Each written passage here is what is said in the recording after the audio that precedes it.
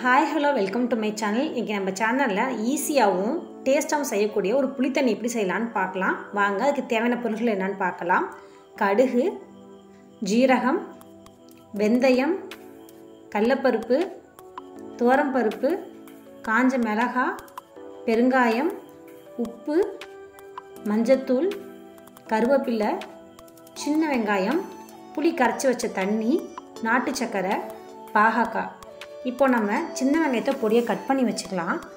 காஞ்ச மிளகாவை கிள்ளி வச்சுக்கலாம். பாவக்காவையும் நம்ம அரிஞ்சு வச்சுக்கலாம். பச்சை மிளகாவை கீறி வச்சுக்கலாம். இன்றைக்கி என்கிட்ட பாவக்காய் இருக்குது நான் பாவக்காய் போட்டுக்கிட்டேன். நீங்கள் மாங்காய் சீசன்னா மாங்காய் போட்டுக்கலாம். இல்லை காய் எதுவுமே இல்லைனா கூட வெங்காயமும் பச்சை மிளகாய் வச்சு பண்ணலாம். இப்போ ஸ்டவ் ஆன் பண்ணி கடாய் போட்டுக்கலாம்.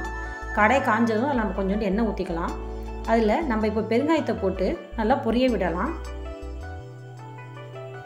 பெருங்காயம் நல்லா பொரியட்டும். பொரிஞ்சது இப்போ கூட நம்ம கடுகு சேர்த்து நல்லா பொரிய வச்சுக்கலாம். கடுகும் பொரியட்டும். அடுத்து நம்ம கொஞ்சம் ஜீரகம் சேர்த்துக்கலாம். ஜீரகம் பொரிஞ்சதும் கொஞ்சம் வெந்தயம் சேர்த்துக்கலாம். வெந்தயம் செவக்கட்டும்.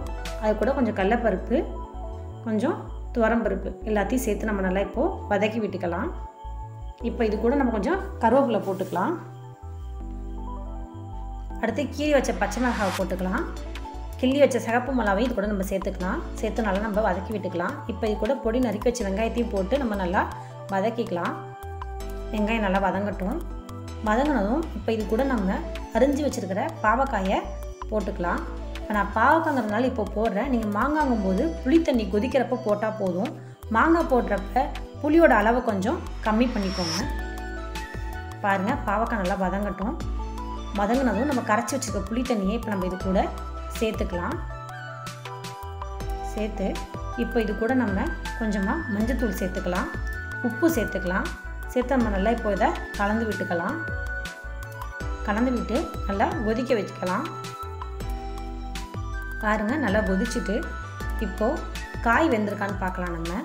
பாவக்காய் ஒன்று இப்போ நம்ம எடுத்து நசுக்கி பார்த்தோன்னா வெந்திருக்கான்னு தெரியும். பாருங்கள் காய் வெந்திருக்கு. இப்போ இது கூட நம்ம கொஞ்சமாக நாட்டு சக்கரை சேர்த்துக்கலாம். சேர்த்து ஒரு தடவை நல்லா கலந்து விட்டுக்கோங்க. இல்லை இனிப்பு புளிப்பு கசப்புன்னு இதோட டேஸ்ட் இப்போது ரொம்ப நல்லாயிருக்கும். இது கூட கொஞ்சம் கருவேப்பிலை போட்டுக்கலாம். போட்டு இப்போ நம்ம இதை ஆஃப் பண்ணிவிட்டு ஒரு பவுலுக்கு ட்ரான்ஸ்ஃபர் பண்ணிக்கலாம். இந்த புளி தண்ணியை நம்ம சாதத்தோடு சேர்த்து சாப்பிட்றதுக்கு ரொம்ப டேஸ்ட்டாக இருக்கும். நல்லாவும் இருக்கும். நீங்கள் ட்ரை பண்ணி பார்த்துட்டு எப்படி இருக்குன்னு கமெண்ட் பாக்ஸில் கமெண்ட் பண்ணுங்கள்